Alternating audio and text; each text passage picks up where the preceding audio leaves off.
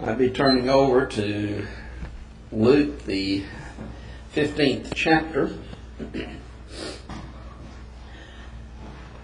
This chapter is one uh, that's often been called the threefold parable chapter because and it illustrates God's way, God's grace, and God's joy for us. Jesus has is responding to the uncaring nature of the Pharisees and scribes in this these parables. Because as we see, the publicans and sinners came near to hearing, verse 1. And to this, the self righteous and uncaring Pharisees and scribes, uh, they objected to such as individuals and Jesus teaching them. Uh, you see, in going back to chapter 14, that Jesus uh, has taught the cost of discipleship and that one must count the cost, verses 25 through 35. But in verse 25 of Luke 14, he tells us that there went great multitudes, and uh, he turned and said unto them as he began teaching this about counting the cost. Uh, the great multitude certainly included these of chapter 15 and verse 1, the publicans and sinners who came to hear him. And we see this, or we see Jesus' compassion on the lost in this.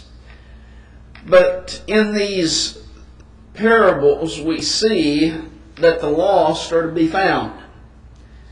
And once they're found, the return of those that are lost brings joy to heaven.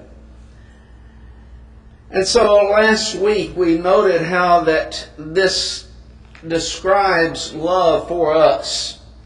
And that first the shepherd loses one of his 100 sheep, and yet he leaves the 99 and goes to search for the one. The woman who has 10 coins loses one. And she searches diligently, sweeping the house, lighting a candle or a light, and sought it diligently until she found the one coin. And then the father whose son leaves, we see the love that he has for him. But also when the older son refuses to come in, he goes out to entreat the uh, older son. And so we start seeing the, the love that God has for us. And throughout the scriptures, we see that love being demonstrated to us primarily, we see the greatest demonstration in the fact that Jesus died for our sins, that God sent his only begotten Son to die for us, John 3:16. But also, these parables teach us that God's loss is evidenced. Sometimes when people sin and do things, they turn it all to themselves and say, well, don't worry, it only hurts me. It's only me. Doesn't affect anyone else. But these parables show us that that's not the case. When that sheep got lost, it affected the shepherd. When the coin was lost, it affected the woman. And then when the son was lost, it affected the father. And when the older son refused, it affected him. Paul would write in Romans 14th chapter and verse 7 that none of us liveth to himself and no man dieth to himself. He's making the point that what we do affects other individuals. When we commit sin, it's going to affect others. It's going to affect our family. It's going to affect our friends. It's going to affect all of those individuals upon whom we have an influence. Those individuals who could be here this evening and don't. They've made a choice in their decision, but that choice that they made not to come has affected other individuals. All of those that they could have influenced for good, that good is going to be destroyed because of the choices that they made. But it also affects God in heaven. If we go back to the time of Noah, the God describes the world of that day as that every thought of man was only evil continually. And because of that, it says in Genesis 6 and verse 6 that it repented the Lord that he had made man on the earth, and it grieved him at his heart. Why was God grieved? Because of the sin of the people, those individuals that he had created, that he had cared for, that he had preserved. And yet their sins caused God grief. When we look at Israel and how Israel so many times uh, turned away from God, the 95th Psalm in verse 10, God says, 40 years long was I grieved with this generation, and said, It is a people that do err in their hearts, and they have not known my ways. I was grieved with that generation. Why? Because of their, as we find elsewhere, unbelief. Hebrews, the third chapter, in verse 10, repeats that aspect Wherefore I was grieved with that generation and said, They do always err in their hearts, and they have not known my ways. And then a few verses later, in verse 17, he again states it, But with whom he was grieved forty years, was it not with them that had sinned, whose carcasses fell in the wilderness? Here's these individuals who did not believe in God. Oh, they believed in his existence but they didn't really believe God. They had seen His powerful works in bringing them out of Egypt, the deliverance they made for them in parting the Red Sea. They had been there as God delivered unto them His message, so much so that they were scared, we might say, out of their wits. Says, We don't want to hear God. Moses, you go up and you hear Him. And you can bring that message back to us.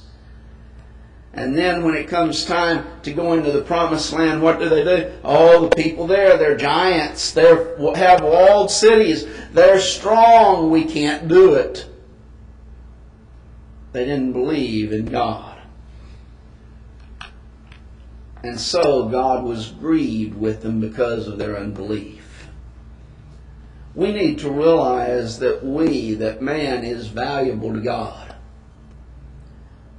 if for no other reason because of the price that was paid. Um, and so Jesus says is worth more than all of the world's goods put together in Matthew 16 and verse 26. When he says, For what is a man profited if he should gain the whole world and lose his own soul? Or what shall a man give in exchange for his soul? Man's soul is so valuable that it's worth more than all of the riches of the world. Now, a price that we pay for an object determines really what the value of that object is worth. The price of the souls of man was the blood of Jesus Christ. Jesus said in Matthew 26 and verse 28, For this is my blood of the New Testament, which is shed for many for the remission of sins. I'm shedding my blood so that you can be saved, so that man can be saved. How valuable is man to God?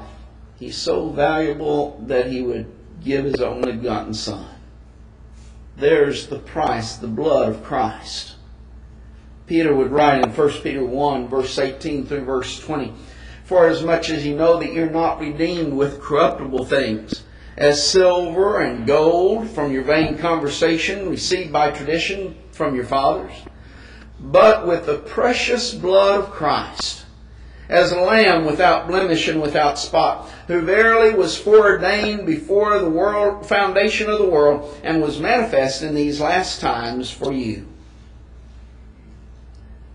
Gold, silver, it cannot redeem you. But God wanted to buy us back because of His great love for us. And that's what we looked at last week. Here's God's great love. Here's the love that we see in these three parables, demonstrated by first the shepherd who goes seeking the one lost sheep, the woman who lights a candle, sweeps the house, searches diligently for the one coin, the father who looks longingly into distance for his son to return home, and then goes out to entreat the older one. A love of the father but he could not redeem us, and we were not redeemed with gold and silver, those things that are valuable to man on this world. But he says, instead, what redeemed us, what brought us back to God, is the precious blood of Christ. We're redeemed then to serve God. So many times, what we do is we sit down to do nothing within the kingdom of God we become a Christian. We're baptized in water for the forgiveness of our sins. We're raised up out of that water grave of baptism to sit down and do nothing. At least that's so many times what Christians do. I'm saved. I've got it made. I don't have to do anything. I don't have to say anything. I don't even have to change my life, is what some think and all will be right. Why, I'm not an evil person. I don't go out killing others. I don't steal. I don't lie. I don't do all of these other things. I'm not an evil person, so I'm got to be all right. And we think Christianity is simply a religion of nots. I don't do this, I don't do that. And we forget that Christianity is a religion that demands of us service to God. 1 Corinthians 6 and verse 20 tells us that we are bought with a price. Therefore, glorify God in your body and in your spirit, which are God's. Jesus would teach us in Matthew, the 5th chapter, verse 16, to let your light so shine before men that they may see your good works and glorify your Father which is in heaven.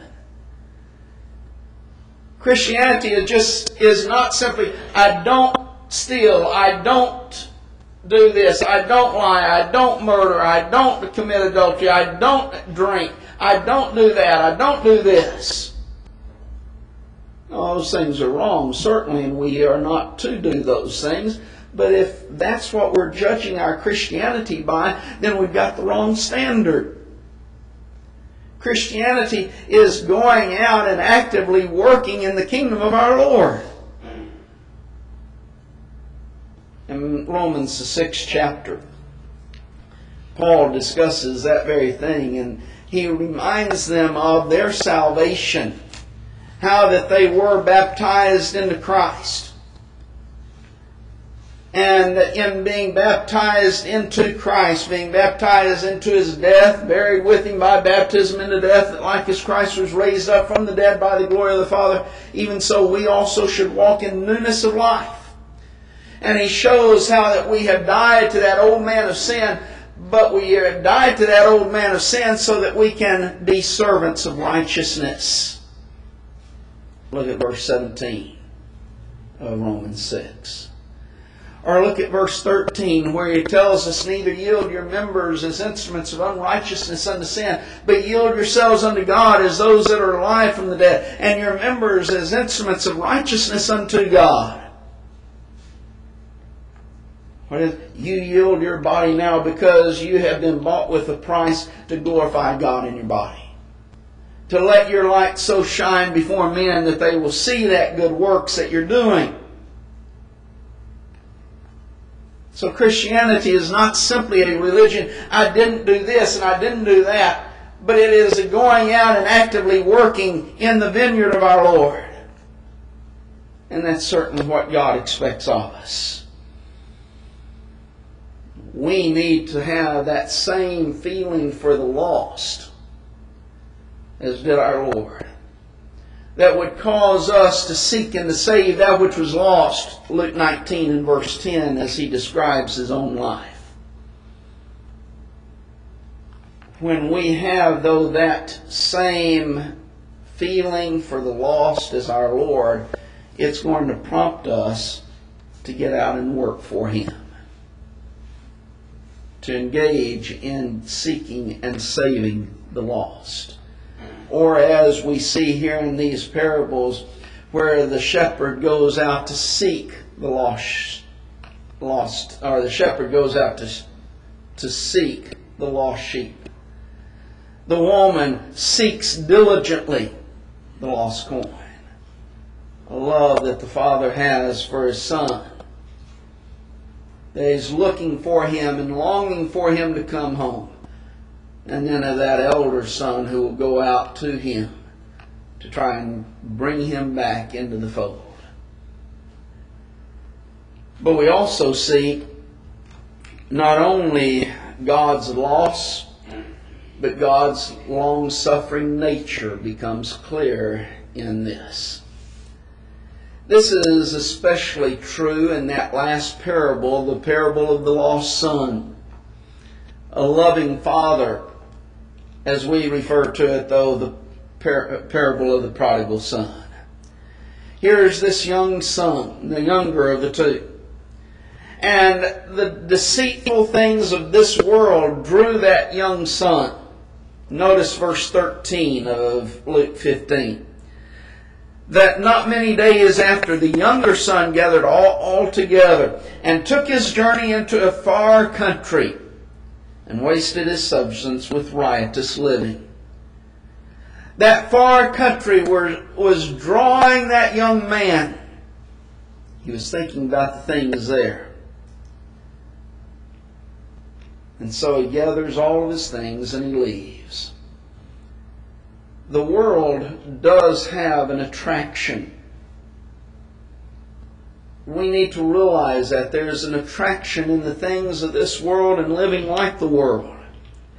In Luke 8 and verse 14, in the parable of the sower, he tells us that that which fell among thorns are they which, when they have heard, go forth and are choked with the cares and the riches and the pleasures of this life and bring no fruit for uh, to perfection. The riches, the pleasures, the cares of this world. We become so wrapped up with this world and the things of this world that Christianity is literally choked out of us. Isn't that what we see in so many who profess to be Christians today? That the things of this world are so important to them and they just don't have time for Christianity. They don't have time to go out and teach the lost. They don't have time to study the Bible. They don't have time to, many times, even attend the worship services of the church. They don't have time to be involved in a visitation program. They don't have time to do anything for the Lord because they filled it up with the things of this world. And notice, not only does he say the cares and riches, but he says the pleasures of this world. There is pleasure in sin.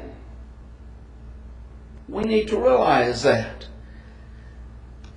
But it is a temporary pleasure. It's not a pleasure that will bring lasting joy and happiness lasting peace, lasting purpose. It's not going to give us anything to really live for. But there is a pleasure there. There's a joy that is there.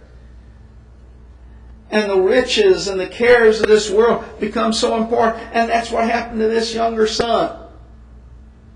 The pleasures of this world, of this life, became so important that he left the Father's home.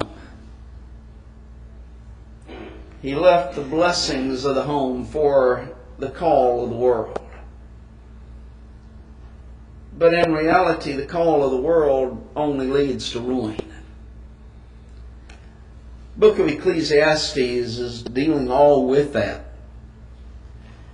He begins, though, by telling us, Ecclesiastes 1 and verse 2, Vanity of vanities, saith the preacher. Vanity of vanities, all is vanity. And he goes from there, and he, if you look at the introduction to that book, the first few verses, he's dealing with all of the things of this life, all of the cares, all of the pleasures, all of the riches of this world. Everything under the sun. What is it? It is vanity, he says. It's worthlessness. It has no value. And Solomon goes through one thing after another thing within his life testing them out to see if there's really any value in them. If there's true purpose of life, if there's true joy that's going to be found there. And he had, let's face it, he had all of the riches that an individual could want. All of the wealth that he could provide himself with anything, any desire that crossed his mind. And so what did he do? He'd go from one say, well, let's see, does, is this going to bring me joy? Is it going to bring me true pleasure? Is it going to bring me peace of mind and heart? And he would try it, and his conclusion, it's vanity, it's worthlessness. Moses had learned the lesson, though, centuries before when, as the Hebrews writer states in Hebrews 11 and verse 25, that he was choosing to rather to suffer affliction with the people of God rather than to enjoy the pleasures of sin for a season. He realized, yes, here's all of the wealth and riches of Pharaoh that are at my disposal. I can enjoy all of the things of this world the pleasures of this world. But he realized that those pleasures were only for a season. They weren't lasting. And so instead of choosing those pleasures of the world and the riches that were available to him, he chose rather to suffer affliction with the people of God.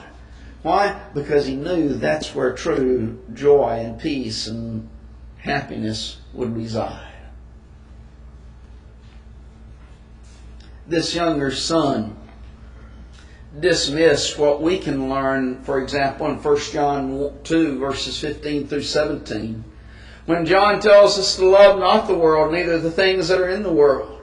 If any man love the world, the love of the Father is not in him. For all that is in the world, the lust of the flesh, the lust of the eyes, and the pride of life, are not of the Father, but of but are of the world. And the world passeth away in the lust thereof, but he that doeth the will of God abideth forever. His affections turn toward the world instead of the things of God. He longed for and had a love for the world and the things of the world, the lust of the flesh, the lust of the eyes, and the pride of life. That's what was the love of his life instead of the love for God. Or he could have and should have learned what James would tell us in James 4 and verse 4. Ye adulterers and adulteresses, know ye not that friendship with the world is enmity with God? Whosoever therefore will be the friend of the world is the enemy of God. And this young son, he looked out there and he saw the world and he wanted to be the friend of the world. And so he left the father's home. But also we can see the path that he uh, led to the world. Because he made plans to leave. The younger son said unto the father, Give me the portions that fall to me.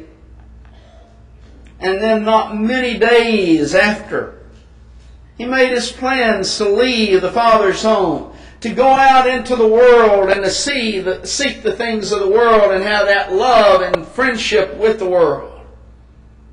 What happened? Apostasy filled his heart before the actual leaving took place. he was looking out at the things of the world. That's where his heart was residing. And because his heart was residing there, he left. He went away. A lot of times we get to someone who has apostatized, who has left the church, but we get to them way too late. We leave, we get to them after they've left, instead of preventing their leaving. Their leaving isn't.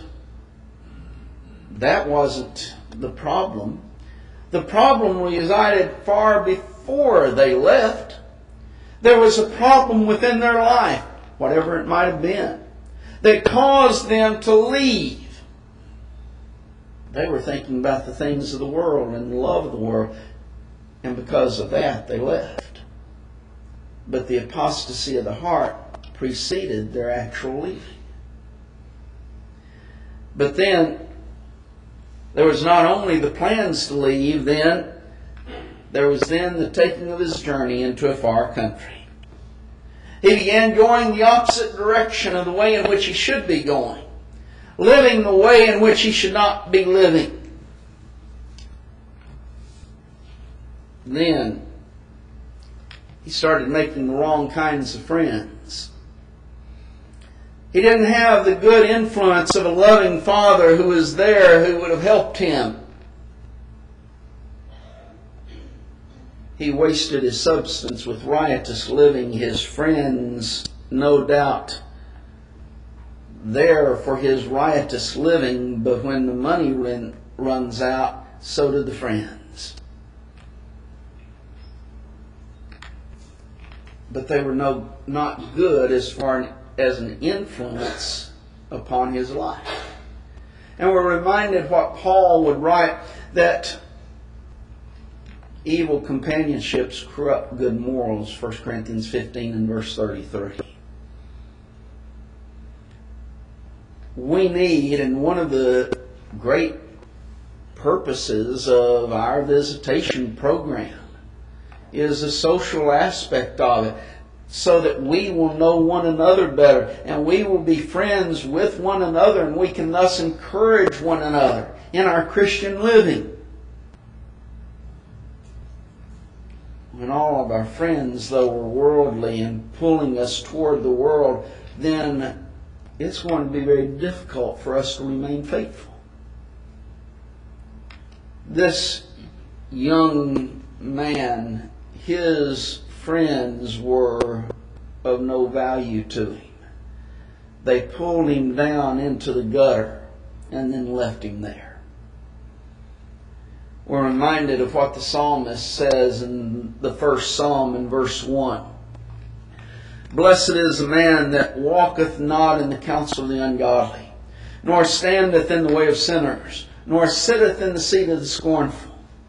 You see a progression, and you see a progression with this young young man. He first had the desire within his heart to leave. Then he leaves. Then he has no good friends, wrong kind of friends. And you see him in the gutter. The blessed man doesn't have that type of, of a situation. But you see in this, in Psalm 1 verse 1, a progression of sin and going away. First, that man walks not in the counsel of the ungodly. There's a walking by. Then there's a standing in the way of sinners. Instead of now just walking by them, he's there with them and then sitteth in the seat of scornful. He now just instead of just walking by, now then standing, and then he just takes his place there. And that's where he's left.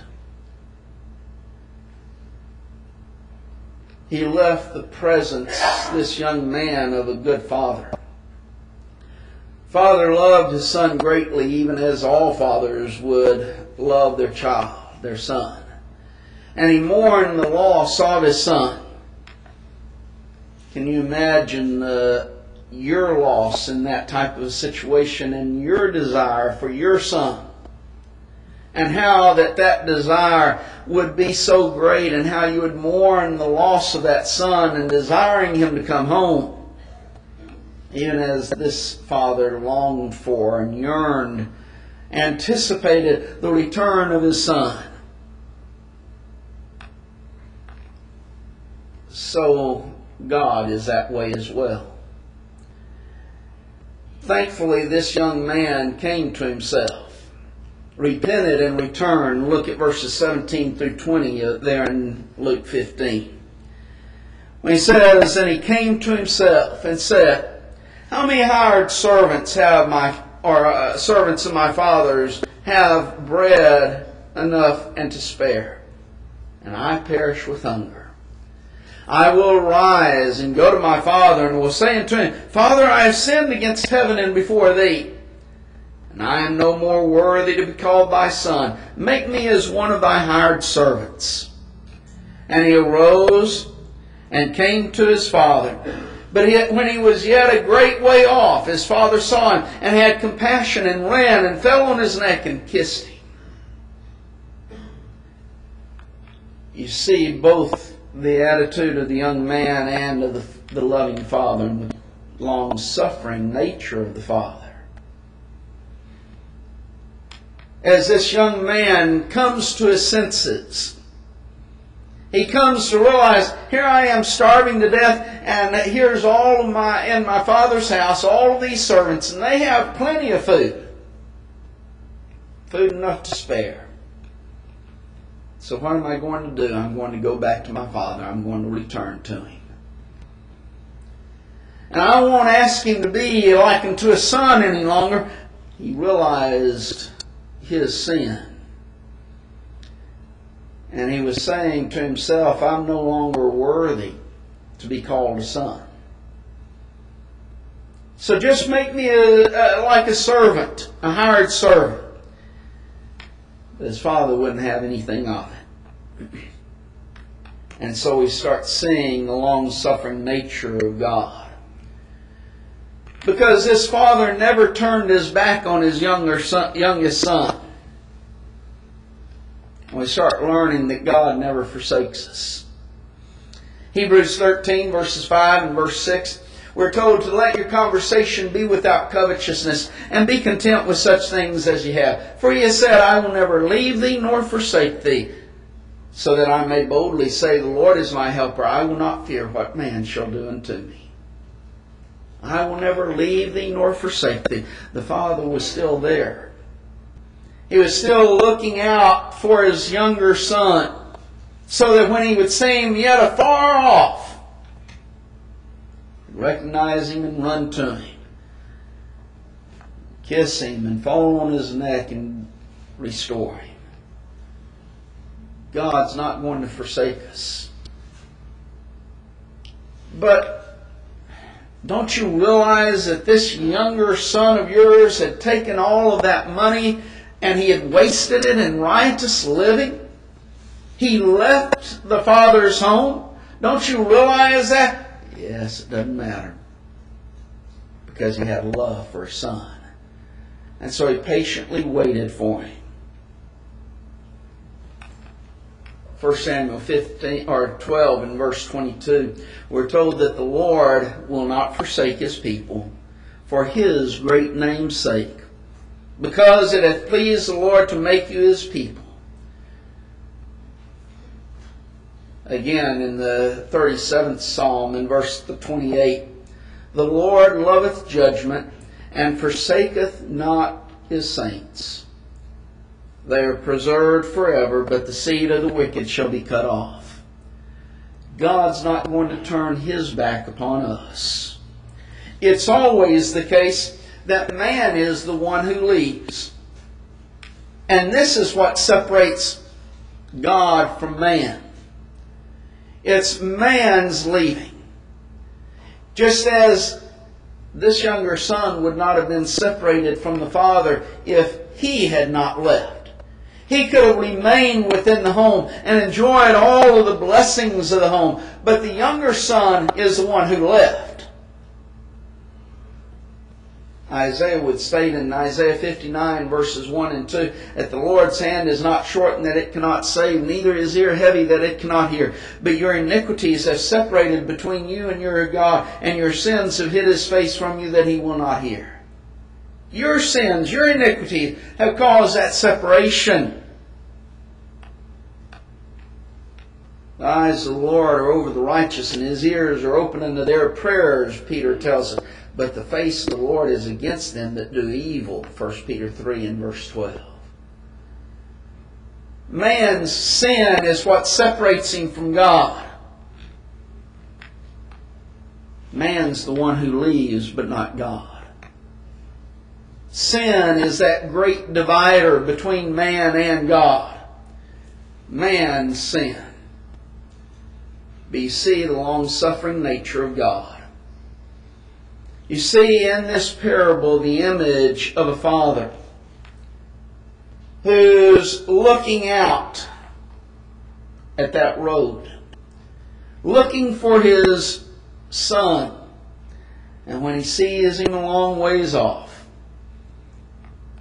he runs to him saw had compassion upon him and ran and fell on his neck and kissed him in chapter 15 and verse 20 of Luke. In 1 Peter the third chapter and verse 20, we're told that which sometimes were disobedient. There's talking about the days of Noah. And here's these people who were disobedient when once the long suffering of God waited in the days of Noah while the ark was preparing, wherein few, that is, eight souls, were saved by water. Long suffering of God waited in the days of Noah. Noah spent about 120 years building the ark. During that 120 years, Noah is referred to as a preacher of righteousness. Here he is proclaiming by his actions, there's going to come a flood and destroy you. They could have been saved if they would have repented and turned to God. God's long suffering waited during the days of Noah while the ark was preparing. In 2 Peter 3 and verse 9, we're told that the Lord is not slack concerning his promise, as some men count slackness, but is long suffering toward you, or toward us, not willing that any should perish, but that all should come to repentance. Long suffering nature of God. He's long suffering to us. Why? Because He doesn't want us to perish. He doesn't want us to die. He doesn't want us to see, want us to he does not want to see us separated from Him in an eternity of eternal punishment and torment and anguish. He wants us to draw to Him. And even as Jesus, as He was looking out over Jerusalem and would plead, would say, I, I would have drawn you under my wings but ye would not. But God is long suffering and He desires our salvation. When man returns, then, we see that every blessing is restored. In Luke 15, again, verse 22 through verse 24, it says that the father said unto his servants, Bring forth the best robe and put it on him, and put a ring on his hand and shoes on his feet. And bring hither the fatted calf, and kill it, and let us eat and be merry. For this my son was lost, or was dead, and is alive again. He was lost and is found. And they began to be merry. All of the blessings that were in the father's home were restored to this young son, even though he wasn't worth it. He wasn't worth the Father's time and effort and love and kindness. He realized that when he came to himself. I'm no more worthy to be called your son. But his father restored all the blessings to him anyway. When we repent of our sins, God is faithful and just to forgive us of our sins and to forgive us of all unrighteousness. 1 John 1 and verse 9. All of the blessings can be restored. In Hebrews 8 and verse 12, we're told that God would be merciful to our sins and uh, to our unrighteousness, and our sins and our iniquities will He remember no more. He'll never hold them against us. And we will then enter into that church, the heavenly places where all spiritual blessings are found. And we will be blessed through this world and in the world to come have eternal life. If you've wandered into that foreign country, that far country, allowing sin to rule in your life, allowing the cares of this world, the pleasures of this world, the riches of this world to take over your life, to rule your lifestyle. And why not do as prodigal son did? Come to yourself, repent, return to the Father that's standing there waiting with open arms to receive you. And even as when the lost sheep was found, the lost coin was found, there was rejoicing among all the individuals and even in heaven itself.